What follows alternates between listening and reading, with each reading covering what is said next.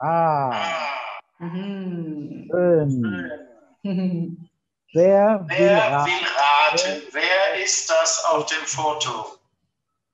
Quem quer Quem quer adivinhar? adivinhar? Quem é nessa foto? Sou eu! Meu pai quis colocar essa foto porque ele disse: Você tá muito fofa nessa foto, então vamos começar com essa foto aqui. Então, comece aí. Die Geschichte ist Geschichte Der Jan, Der Jan, große der große Bruder, Bruder, der ist Der ist- 1983 geboren und Johanna 1987, also vier Jahre, dreieinhalb Jahre später. Und wenn man in die Schule kommt, also als ihr großer Bruder in die Schule gekommen ist, da hat er eine Schultüte bekommen. Also das, was so rosa ist, essa coisa rosé, se chama Schultüte. Então, Die Schultüte. die Schultüte.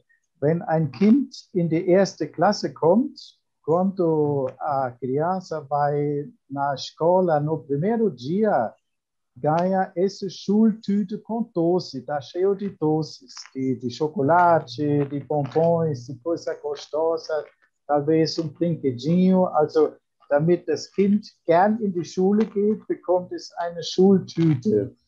Ah, é, Und als der große Bruder in die Schule gekommen ist, no primeiro dia do irmão maior, ela ficou triste. Also da wurde sie traurig und hat gesagt, ich will auch eine Schultüte bekommen. Und dann hat also Jan eine Schultüte bekommen und Johanna hat auch eine Schultüte bekommen. Also auf Sehr dem gut. Foto ist sie ungefähr ja, drei Jahre, knapp drei Jahre alt. Mais ou menos três anos, dois anos e pouco, dois anos, quase três anos nessa foto. Ok? Ok, já mostrei para o pessoal aqui.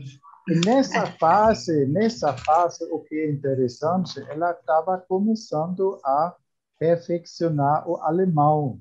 Estava aprendendo alemão e português ao mesmo tempo, com a mãe, com a vovó, português e comigo alemão. Gut, also. Ok. Nächstes Bild.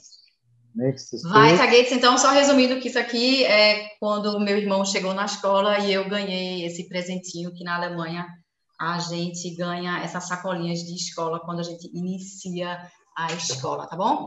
E agora a gente vai entrar realmente na história alemã que vocês estão esperando tanto. Eu vou ficar mandando aqui as fotos para vocês também no Instagram, tá bom? Então, bora lá.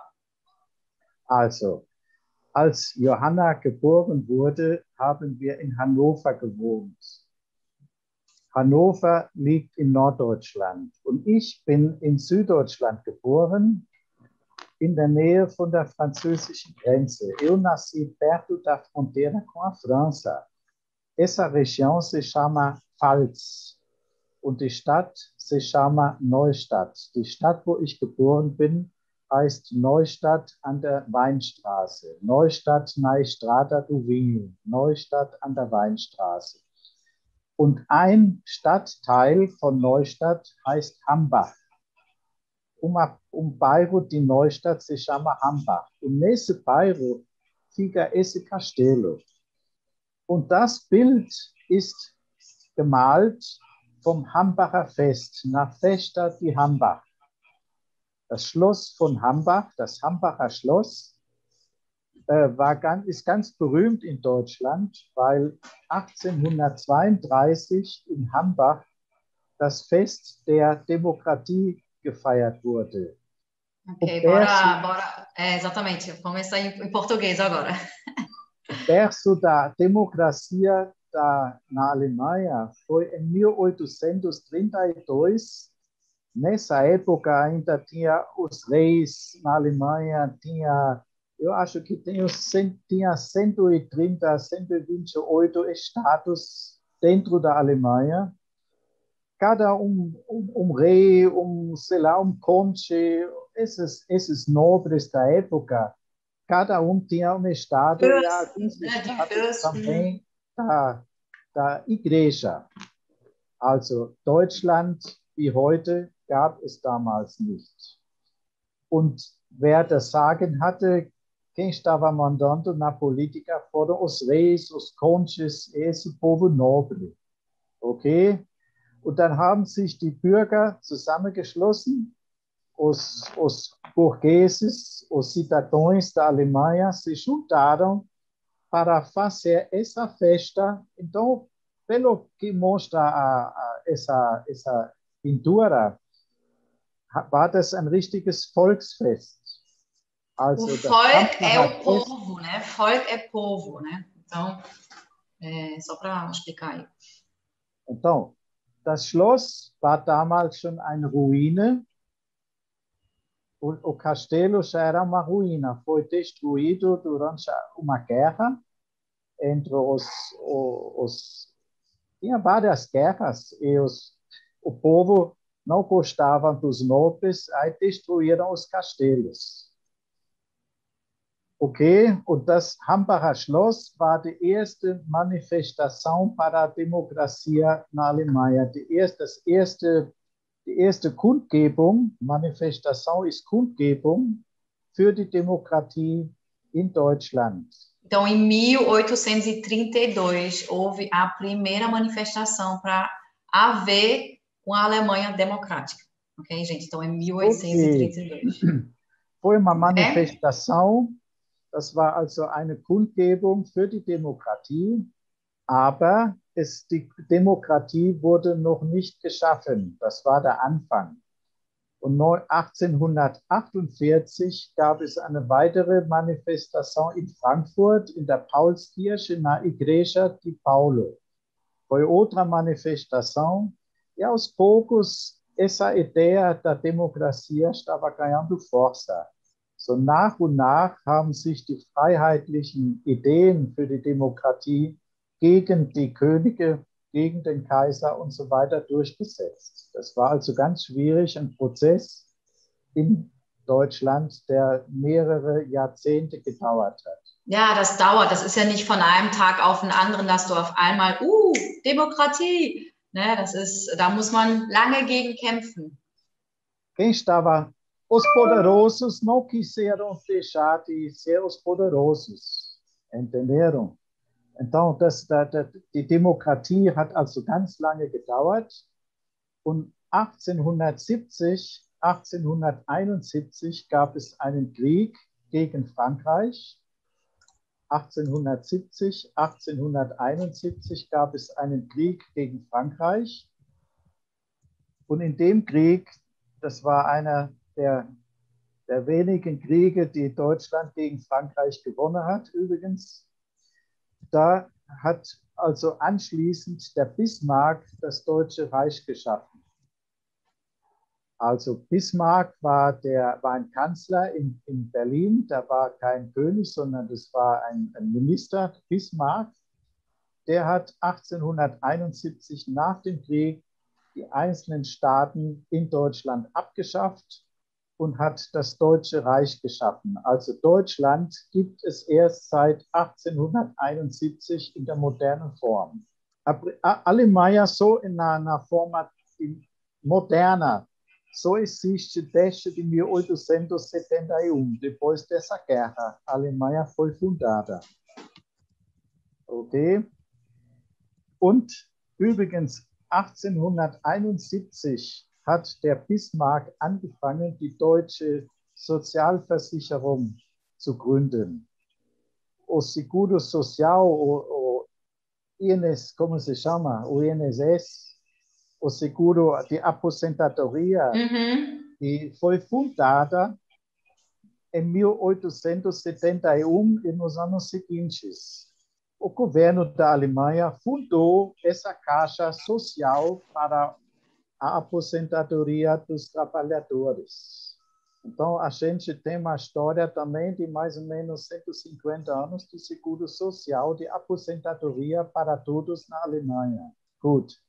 Und dann 18. Aber hier, wir haben noch ein paar Fotos vom Hambacher Schloss, wie es heute ist. Wollen wir die auch zeigen? Okay, zeig, zeig die Fotos von heute.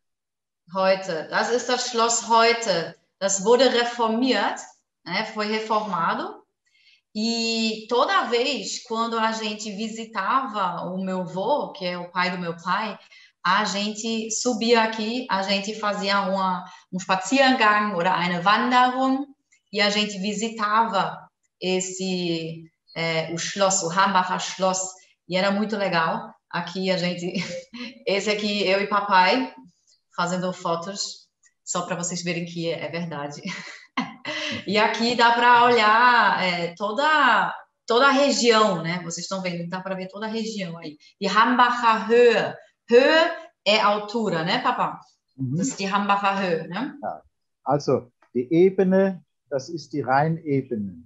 Genau, ja. No meio dessa planície fica o Rio Reno, que, que, que conecta, alle, que passa pela Alemanha inteira, der fließt durch ganz Deutschland.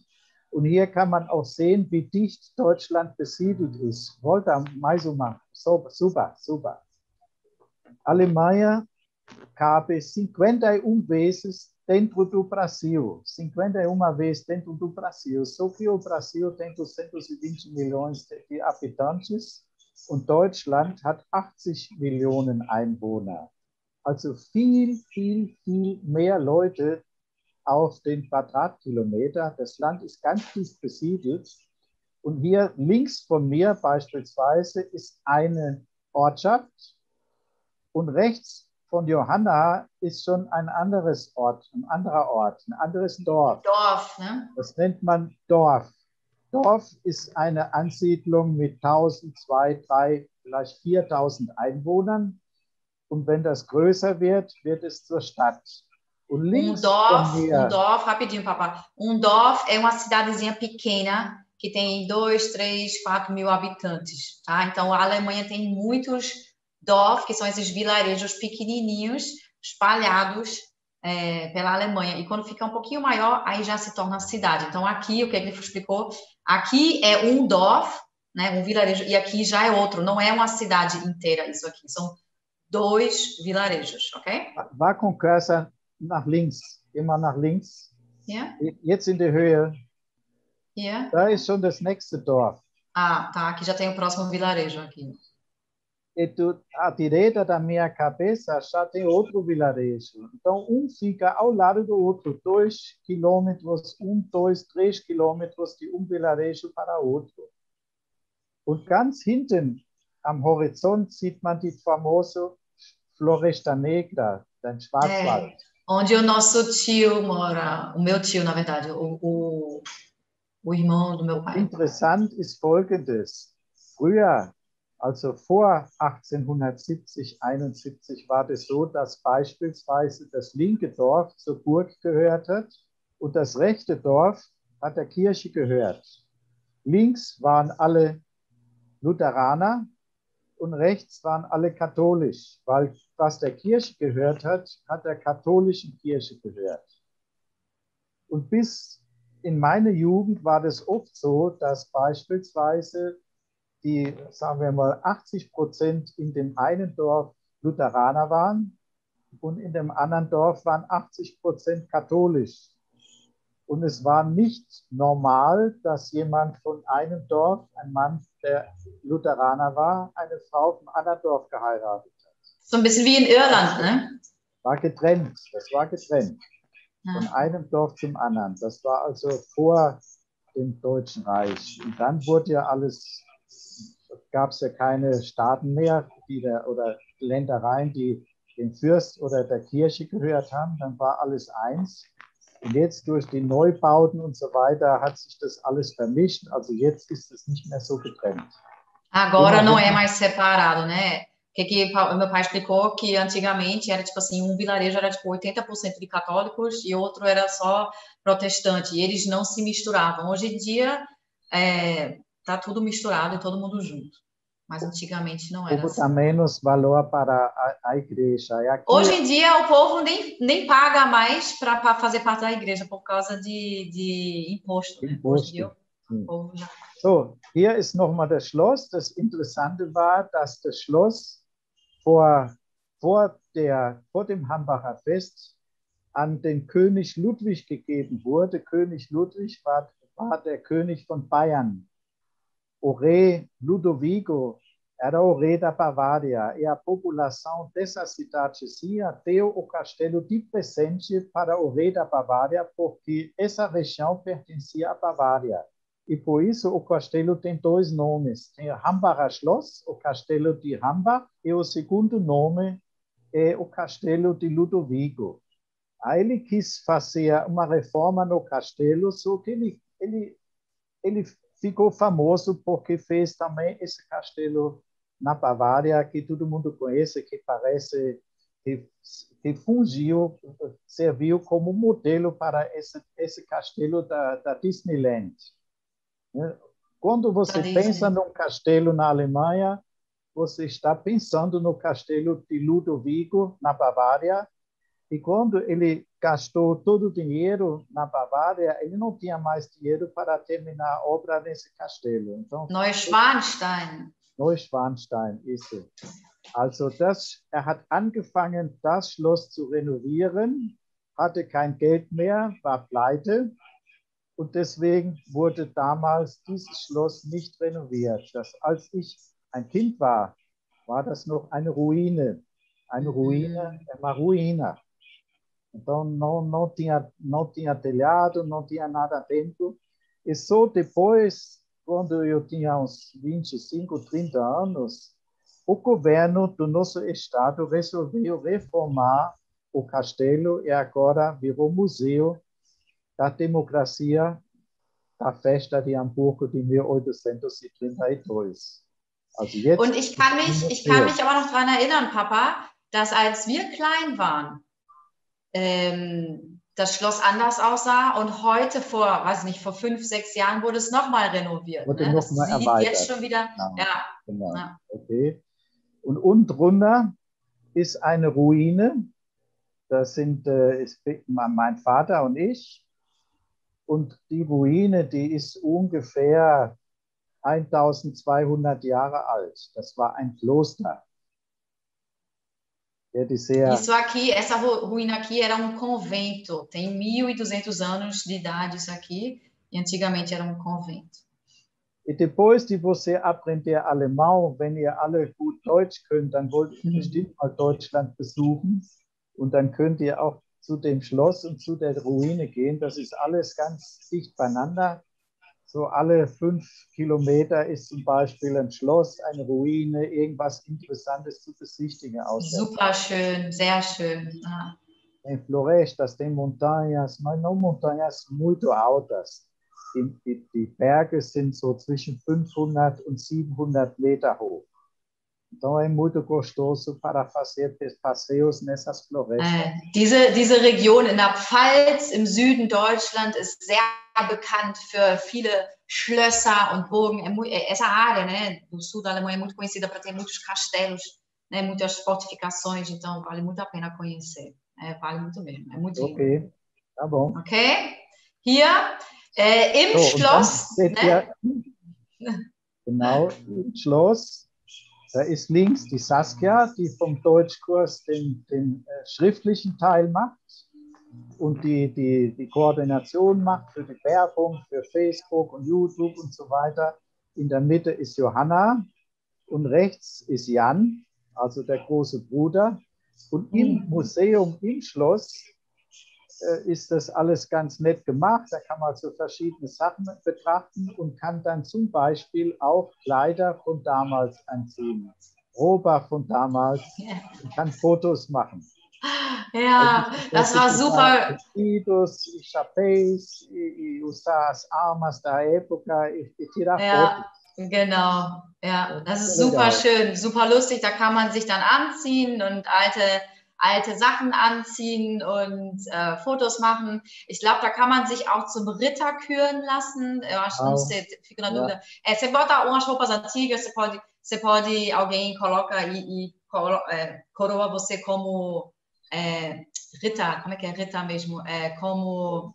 É, ah, esqueci o nome de Rita. É, Rita. Cavaleiro, cavaleiro. Cavaleiro, que tinha essa, essa roupa de ferro. É, exatamente. E, e agora vamos entrar na história da nossa família. Eu vou dar uns exemplos. Nossa família é a história da Alemanha, em paralelo. Isso é meu avô. ele nasceu no ano 1885, quer dizer, 14 anos depois de fundar a Alemanha. E ele nasceu exatamente no mesmo ano que inventaram o primeiro carro. O Daimler e o Benz, que vocês conhecem, da marca Mercedes-Benz, foram dois inventores. Um inventou o primeiro carro e no mesmo ano o segundo inventou a primeira moto. E tudo isso aconteceu perto da nossa cidade. Eu, por exemplo, estudei em Mannheim, que são mais ou menos 35 quilômetros desse castelo, also 35 Kilometer entfernt liegt die Stadt Mannheim, die também tem um castelo, tem, dort gibt es ein Schloss, ein großes Schloss. Und in dieser Stadt wurde das Auto erfunden und von dort aus noch mal ein paar Kilometer weiter wurde das erste Motorrad erfunden. Also als mein Opa auf die Welt kam, gab es, ich wiederhole, das ist der Fluch der Technik. also 1875, zehn Jahre vorher, hat mein Uropa mit 19 Jahren eine Konservenfabrik gegründet. Vocês conhecem conservas, as latas. Os Enlatados, né? Enlatados, né? Und 1875 hat sein Vater eine Fabrik gegründet und war damit ein Pionier, weil damals wusste man noch gar nicht, wie man Konserven herstellt. Er hat also alles ausprobiert.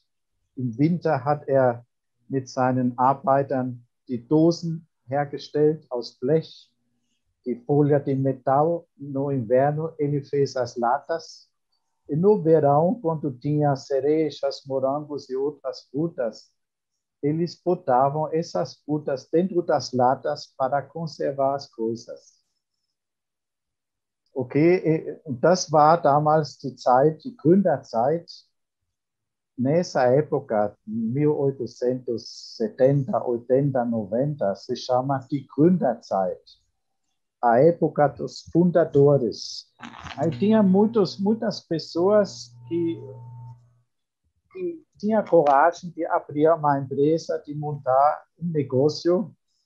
Alguns deram certo, outros também não deram certo, mas com essa, essa iniciativa, na época de, de mais de 100 anos atrás, 130, 140 anos atrás, a Alemanha começou a crescer. E com isso também cresceu o conflito entre a Inglaterra e a Alemanha e a França.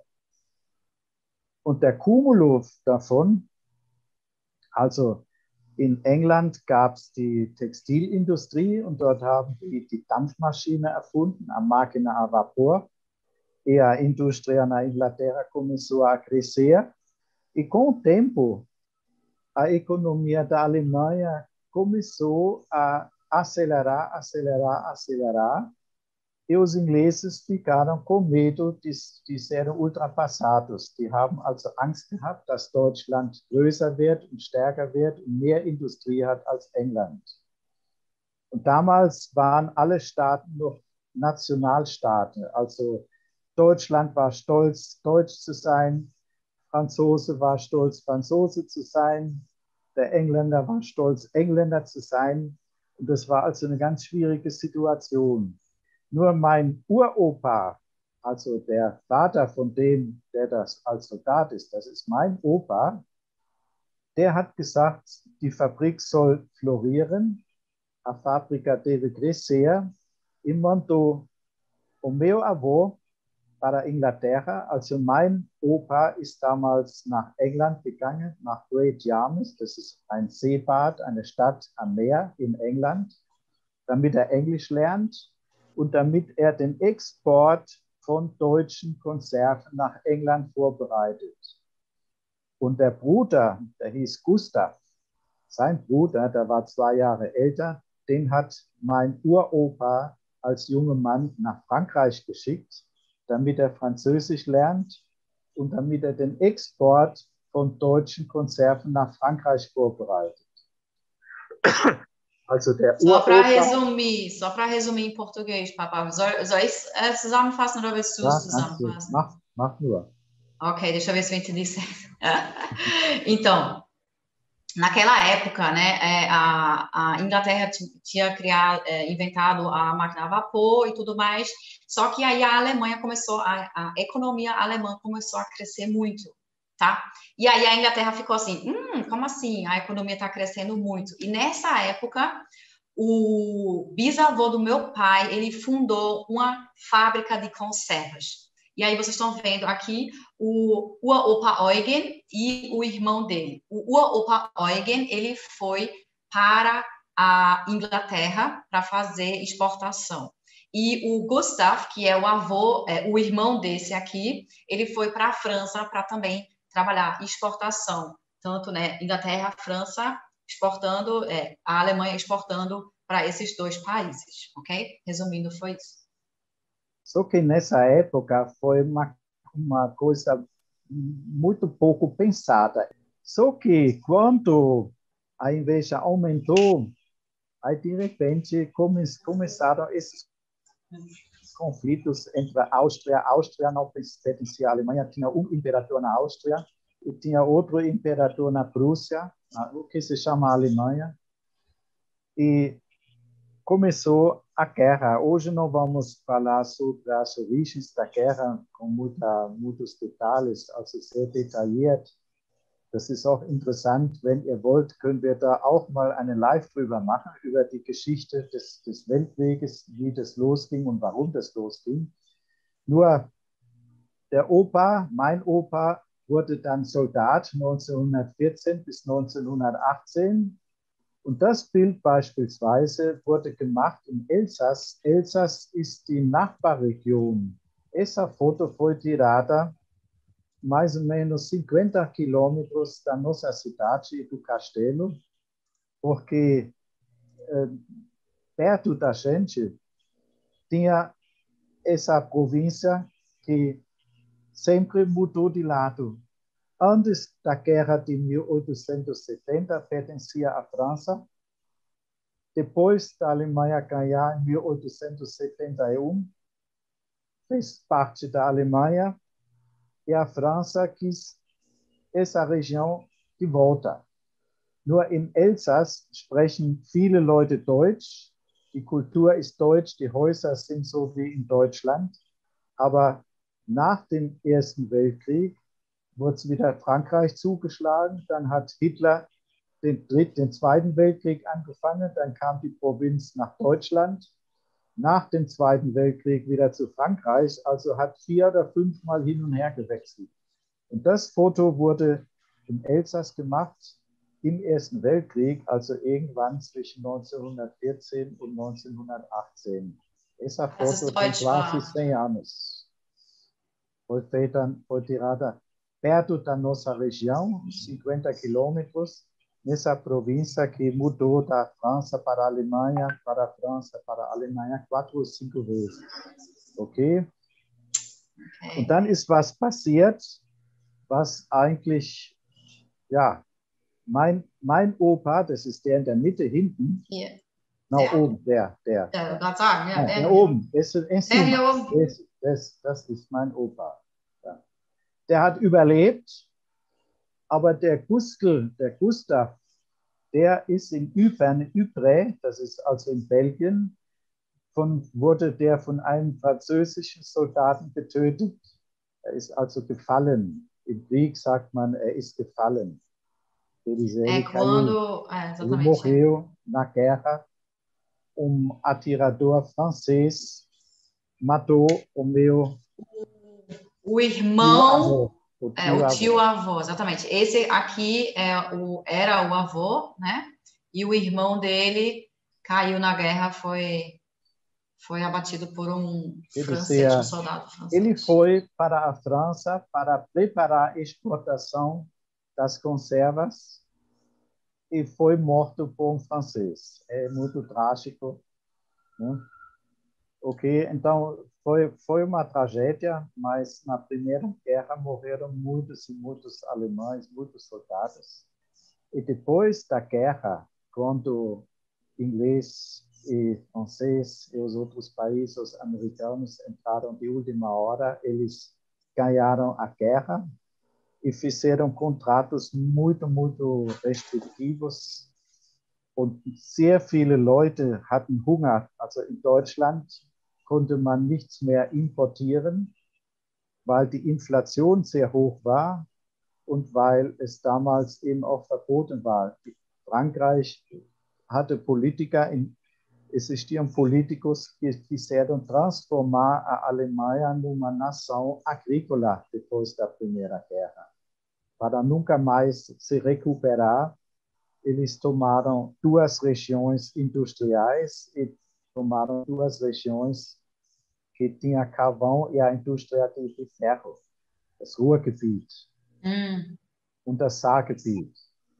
Also Deutschland hatte plötzlich dann keine Schwerindustrie mehr, Industria pesada, Não tinha mais, né? Não tinha mais. Pertencia à França. 1918 war der Weltkrieg zu Ende, der Erste Weltkrieg. Alle Leute waren arm. Es gab wenig zu essen. Frankreich hat zwei Industriegebiete weggenommen. Die Schwerindustrie, die Kohle gab es nicht mehr. Und es gab Inflation. Schade, ich habe ein Foto vorbereitet. Damals wurde jeder Millionär. Ich habe damals einen Geldschein äh, fotografiert. 100 Millionen É uma inflação gigantesca, né? Então, acho que é mais ou menos como na Venezuela hoje, que o dinheiro não, vale, não valia- mais nada. Então, acabou completamente com a economia da Alemanha. E nessa situação de desespero, de faltar tudo, apareceu esse triste do Adolf Hitler, que começou a organizar as manifestações contra o governo na época e tinha uma coisa muito perigosa que eu estou vendo no Brasil também. Tinha um partido, um cara forte, e a oposição era muito dividida, muito dividida, como aqui no Brasil não tem oposição correta, porque tem tantos partidos que ninguém nem sabe o que o partido quer. Das ist eine Konsequenz aus dem Zweiten Weltkrieg, als dann die Bundesrepublik gegründet wurde. Ich greife gerade mal vor. Eu tô, porque o assunto é esse, eu vou explicar rapidinho, rapidinho. O Hitler começou a ficar forte porque a oposição era muito dividida, tinha não sei quantos partidos, igual no Brasil, que tem mais que 50 ou 40 partidos. Então, os partidos estavam brigando entre eles e não fizeram oposição contra o Hitler. E por causa disso, o Hitler ganhou força e começou a Segunda Guerra Mundial. Und das Foto hier zeigt meinen Vater, Opa! Opa. Mein Vater, als er ungefähr 18 oder 19 Jahre alt war, weil damals der Hitler schon den Krieg vorbereitet hat und alle junge Männer mussten damals zum Militär. Also da war er Unteroffizier, Subtenente, ou tiver onde está o cursor. É, Aqui ele, ele foi chamado para a guerra quando ele era bem novinho e foi chamado como subintendente. É porque travou aqui no, no Instagram rapidinho. Em cima, no, no ombro, tem esse, esse negocinho que mostra que ele era subtenente. Aqui, esse. Quer dizer, com 19 anos, ele, ou 18 anos, ele foi obrigado a participar, a ficar soldado, fazer o treinamento. E quando ele tinha 19 Jahre, als er 19 Jahre alt war, musste er nach Russland in den Krieg ziehen. Quando ele fez 19 anos, ele foi para a Rússia e foi para a guerra. Foi para a guerra. Ele foi para não sei quantos lugares dentro da Rússia. E esse é outro assunto. E quando a guerra terminou em 1945, ele teve sorte porque um pouco antes de terminar a guerra, três, quatro meses antes, os, os superiores perguntaram quem queria fazer um treinamento para ser um oficial mais alto. Porque muitos oficiais, muitos soldados, muitos oficiais morreram, caíram, sind gefallen. Viele Soldaten sind gefallen. Also haben Führungskräfte gefehlt, Offiziere gefehlt. Und er war damals Tenente und hat sich beworben, damit er Hauptmann wird oder Major wird. Und dann hat er sich freiwillig gemeldet für die Schule, also für die Academia dos Oficiais. Só que depois de chegar na Alemanha, os supervisores dele disseram: não, você não vai no, na, na escola dos oficiais, você vai para a outra fronteira, para a fronteira com a França, com a Bélgica, para impedir a, o andamento dos americanos que estavam já estavam na fronteira da Alemanha para entrar na Alemanha, ocupar a Alemanha. Então, os aliados, né? Os aliados. Also statt in die Offiziersausbildung wurde er dann an die, an die Front geschickt um Deutschland zu verteidigen gegen die Amerikaner. Und das war aber sein Glück. Ja, ich wollte gerade sagen, das war sein Glück, weil er dort gefangen wurde.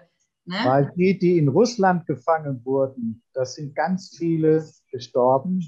Beispielsweise als Stalingrad gefallen wurde, wurden 185.000 deutsche Soldaten gefangen genommen. Quando os alemães capitularam em Stalingrad, tinha 185 mil soldados ainda na cidade. A cidade foi cercada e os soldados não tinham mais munição, não tinham mais comida, não tinham mais material para os hospitais. Aí o, o general Paulo se entregou, os russos capturaram 185 mil soldados alemães oficiais e desses 185 mil soldados, só voltaram 6 mil. Nur 6.000 von 185.000 Soldaten sind nach dem Krieg nach Deutschland zurückgekommen. Und die letzten Gefangenen, die letzten Kriegsgefangenen, die sind zurückgekommen, als ich ein Junge war. Also irgendwann so um 1960 sind die letzten Gefangenen aus Russland zurückgekommen. Ja, also habe ich total, gehabt, ja. weil ich bin 1950 geboren, wenn mein Vater in Russland äh, gefangen genommen worden wäre, das ist ganz schwierig, wenn mein Vater in Russland gefangen genommen worden wäre. Ich fliege Jesu. É, isso é o, o conjuntivo 2, na verdade. Isso é uma, isso é uma suposição. Se o, o nosso, é, aliás, se o meu avô, né, o pai do meu pai, tivesse sido é, capturado na, na fronteira da Rússia, né, onde foram prendi, é, capturados mais de 186 mil é, soldados alemães, né, quando os aliados entraram, ele ia ter sido levado para a Rússia e provavelmente morrido, porque de 186 mil, só 6 mil voltaram, 185 mil, só 6 mil soldados voltaram nos anos 60, quando meu pai já tinha 10 anos de idade. Então, provavelmente, muito, muito, muito provavelmente a gente não ia estar aqui fazendo essa live é, se o meu avô não tivesse sido enviado para a fronteira da França com a Bélgica porque lá ele foi capturado pelos aliados e levado para os Estados Unidos. Mas isso é outra história e outro assunto. Also er wurde dann an der belgischen Grenze gefangen von den Amerikanern und die haben ihn dann nach Amerika geschickt. Und 1947, also 1947, liberaram ele, ele voltou para a Alemanha. No começo do ano, und am Jahresende, also am 15. Oktober, hurra, da ist meine Schwester geboren. Mhm, Ingrid. Ingrid. Quer dizer, ele teve sorte de sobreviver a essa guerra, primeiro que ele não se, ele levou umas, umas feridas, mas sobreviveu e teve sorte que ele não foi preso pelos russos, ele foi preso pelos americanos. Und der Krieg, der war 1945 zu Ende. Und da kannst du mal zeigen, Johanna, wie das damals in Deutschland ausgesehen hat. Also es war so,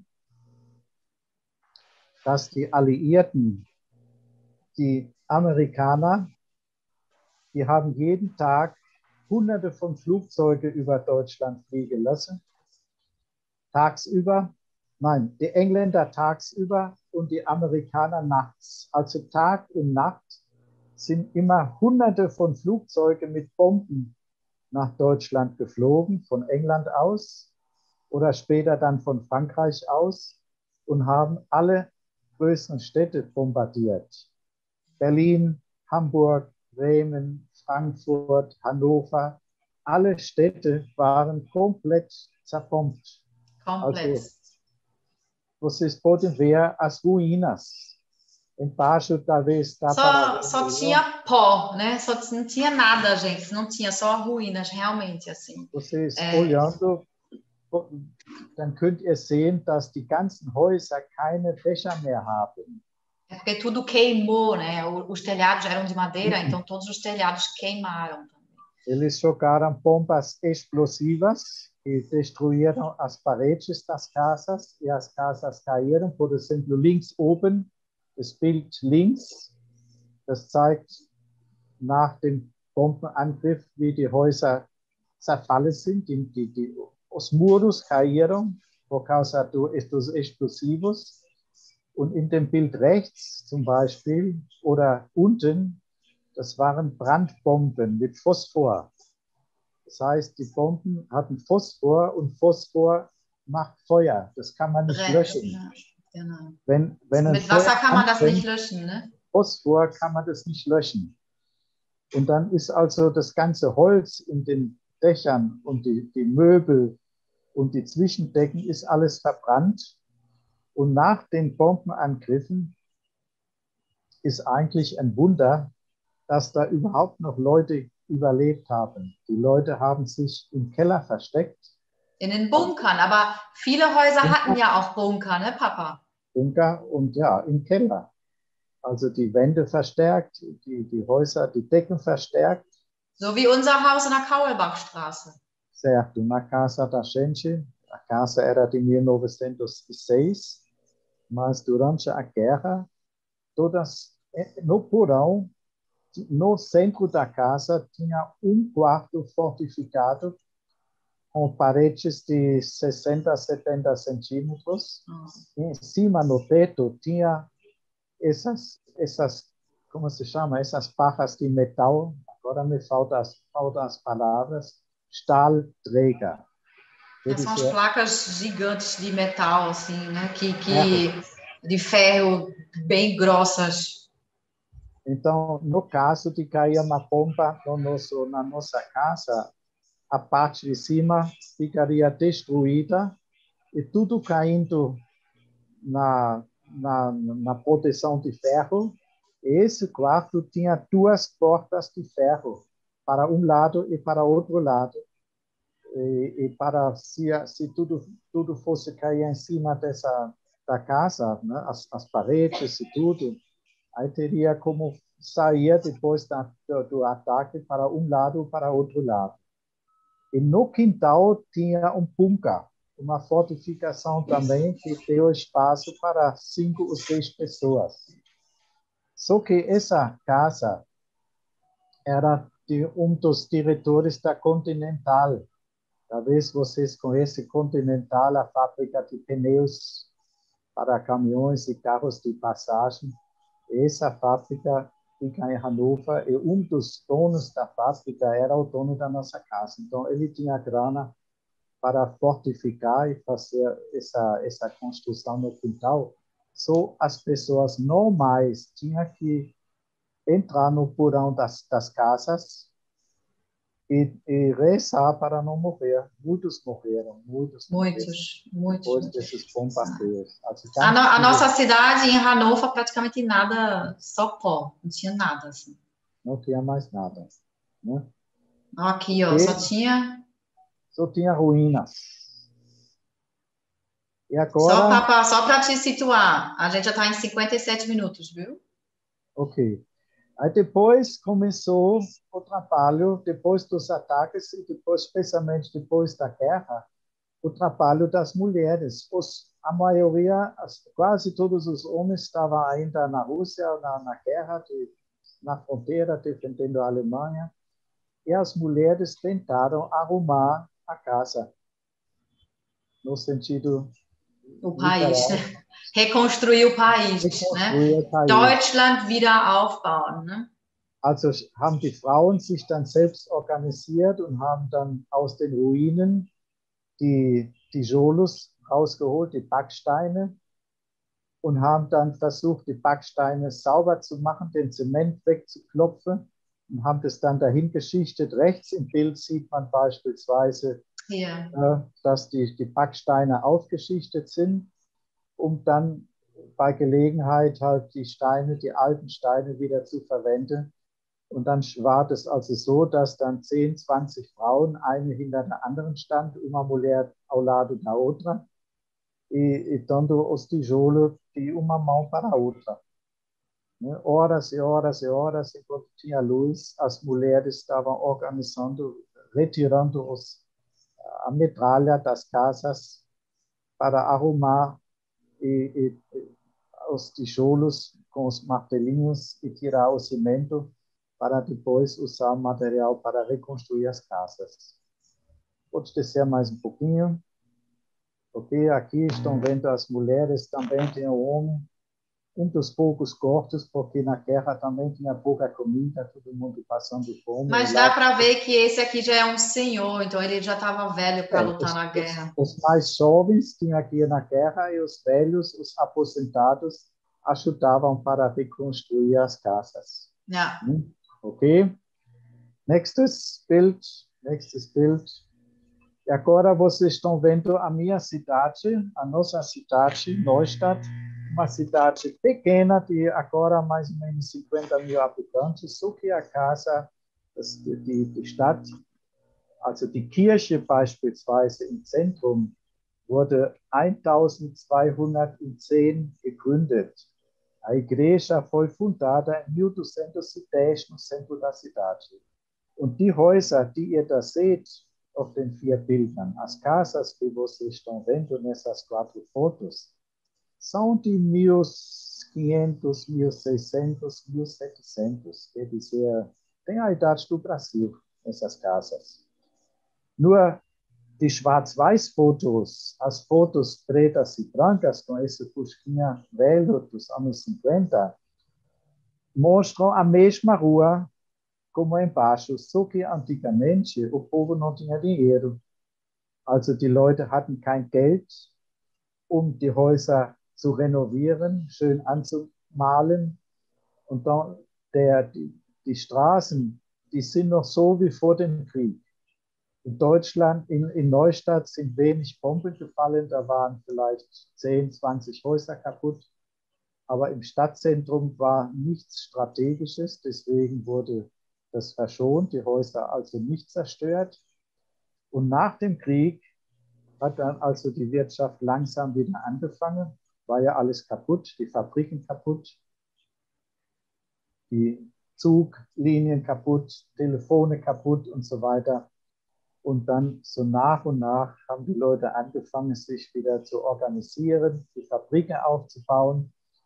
Und so nach, also 1948, 1949 wurde dann die Bundesrepublik gegründet und eine Währungsreform gemacht. Damit fing dann der Aufstieg von Deutschland eigentlich wieder an. Also ich habe ja erzählt, dass nach dem Ersten Weltkrieg es Geldscheine gab von 100 Millionen Mark. Also das Geld war nichts mehr wert. Und die Leute, die damals Geld hatten, die haben alles verloren, weil das Geld plötzlich nichts mehr wert war. Und nach dem Zweiten Weltkrieg war es genau das Gleiche. Das Geld von vor dem Krieg war nach dem Krieg plötzlich überhaupt nichts mehr wert. Man konnte da nichts mehr mit einkaufen. Und dann 1949, 48, 49 wurde die Bundesrepublik gegründet mit Zustimmung der Franzosen und der Amerikaner und der Engländer. Und dann fing ganz allmählich die Wirtschaft an wieder zu wachsen, weil 1949 die D-Mark geschaffen wurde. Die deutsche Mark. Die deutsche Mark. Então, foi fundada o Marco Alemão. Marco Alemão, que vocês talvez ainda conheçam, agora existe o euro, na época foi o Marco Alemão.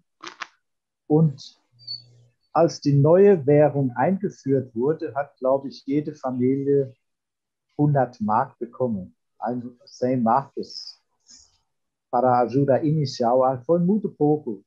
Cada família estava ganhando 100 marcos, parece, ou foi 200 marcos. Um valor bem pequeno para começar a fazer compras. Aí o povo, os soldados, die Soldaten sind dann allmählich aus dem Krieg zurückgekommen. Der Krieg war 1945 zu Ende und die Soldaten sind dann allmählich aus der Gefangenschaft entlassen worden. Die Frauen haben gearbeitet. Es war also damals ganz normal, dass Frauen irgendwo in einer Fabrik oder im Geschäft gearbeitet haben. Und ich kann mich erinnern, als ich ein kleiner Junge war, da wurde Ludwig Erhard der Wirtschaftsminister. Und das Buch, was er in der Hand hat, sagt Wohlstand für alle. Esse livro que ele está na mão, Ludwig Erhard, o título é, é, é Dinheiro, Bem-Estar, Wohlstand. Me ajude, Johanna, qual é a palavra para Wohlstand?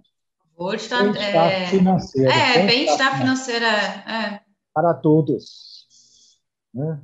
Então, essa teoria que um tem, um fica rico porque ele roubou dos outros, ele, ele contradiz isso. Ele diz que todo mundo pode viver bem, todo mundo pode ganhar dinheiro, porque quando todo mundo começa a ajudar a reconstruir a, a pátria, todo mundo vai ter o benefício. Né? Aí, os trabalhadores começaram a reconstruir as fábricas. A fábrica não era dos trabalhadores, mas eles entenderam que sem fábrica ninguém ganha nada. Aí eles voluntariamente começaram a ajudar para reconstruir as fábricas e as coisas. E aos poucos a economia começou a acelerar, acelerar, acelerar. E também por causa do presidente Kennedy e dos antecessores dele, porque logo depois da guerra fizeram o plano Marshall, antes do Kennedy. Kennedy veio depois, mas não tem foto desse presidente, porque os americanos entenderam quando está tudo acabado, nada funciona, ninguém ganha nada. Eles deram financiamento, o plano Marshall, para a Inglaterra, França e Alemanha. Quer dizer, um financiamento para para poder reconstruir a economia, porque eles entenderam muito bem uma economia que não funciona, não produz, e quando as pessoas não ganham nada, também não podem comprar nada. Eles ajudaram para para construir a economia e esse Ludwig Erhard, ele, ele era um, um, liberal. Hoje o povo fala muito mal sobre o neoliberalismo, mas ele era um liberal, porque ele disse a iniciativa privada tem que ter a liberdade para quem quiser abrir uma empresa, tem que facilitar e tem que ajudar. Aí teve esses, esses, esse financiamento inicial para recomeçar a economia, e a economia com a mão de obra especializada, bem treinada, os soldados estavam voltando da, da guerra, então, uma coisa muito importante existia, existia mão de obra qualificada.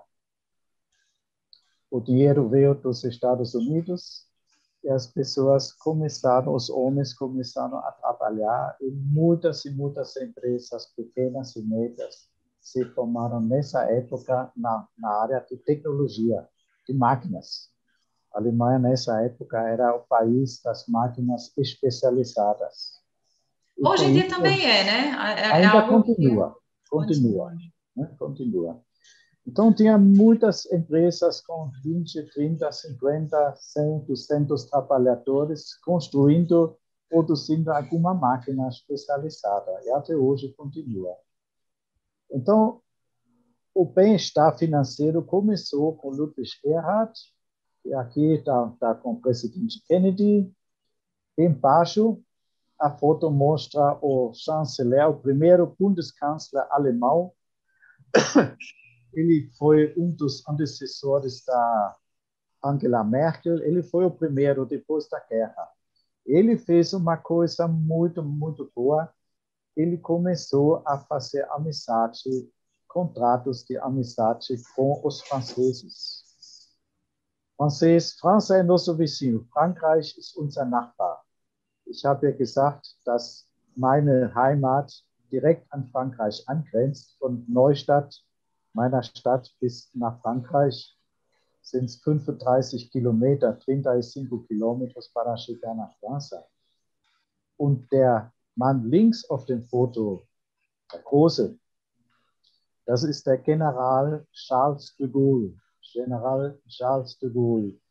Das ist einer der Generäle, die im Krieg, im Zweiten Weltkrieg, die französische Armee aufgebaut haben, um gegen Deutschland zu kämpfen und Deutschland zu besiegen. Also der linke General ist der Nationalheld Frankreichs gewesen nach 1945 und wurde französischer Präsident. Das war der erste französische Präsident und rechts der erste deutsche Präsident, Adenauer.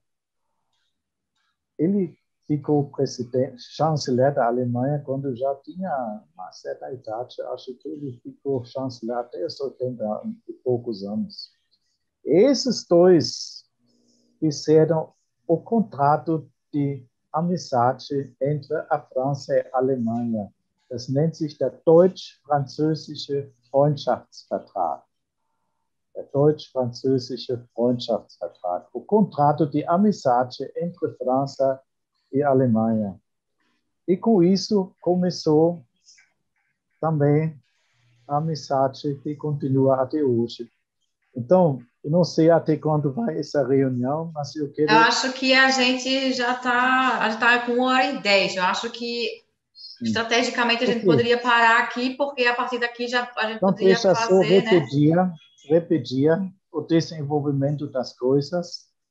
O Eugen, o meu avô, foi para a Inglaterra para exportar as conservas e o irmão dele foi para a França para expandir o negócio para a França. O meu avô teve que lutar contra os franceses. O meu pai teve que lutar contra os americanos e franceses. E eu fui para a França sendo soldado, eu tive que ficar soldado também na, na época da Guerra Fria. Só que quando eu tinha 18, 19 anos, eu fui chamado como voluntário para cuidar do cemitério dos soldados da Alemanha que morreram na Segunda Guerra Mundial. Isso foi no norte da França, Calais. Calais é a, a, a a cidade, o porto, quando você quer ir da França para a Inglaterra, você pode ir para Calais. Also ich, mein, mein Großonkel ist von einem Franzosen getötet worden.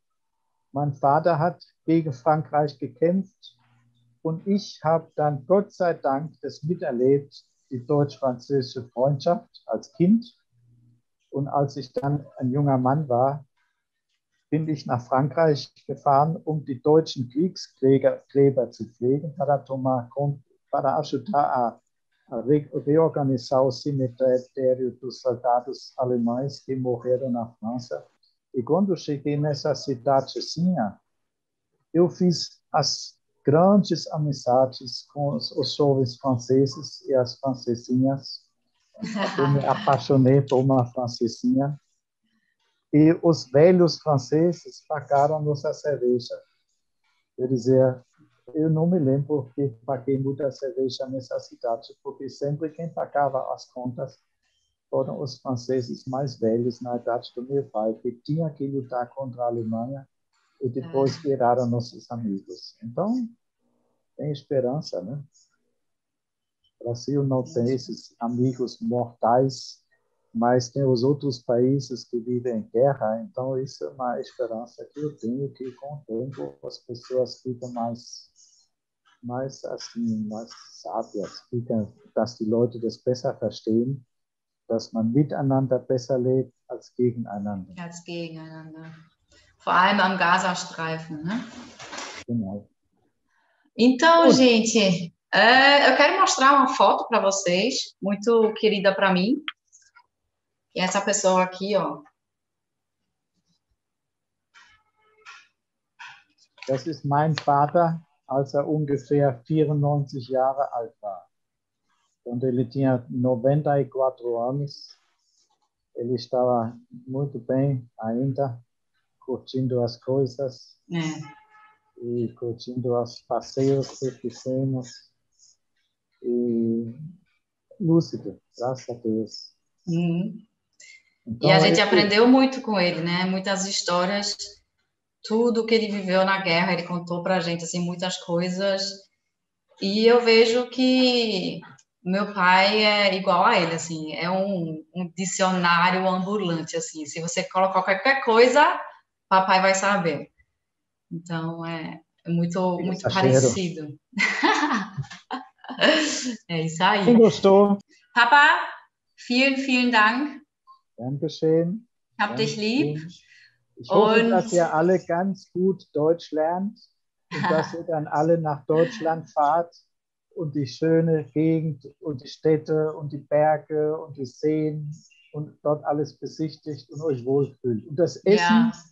und den Wein. Sehr wichtig, Bier. sehr wichtig. Essen, ja, Wein, Bier und, äh, und viel Essen.